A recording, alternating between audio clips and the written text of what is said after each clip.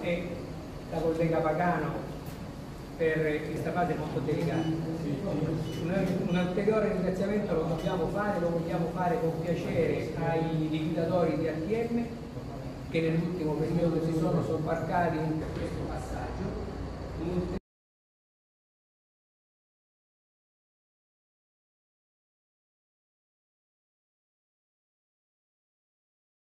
Eh, partecipazione io intanto mh, desidero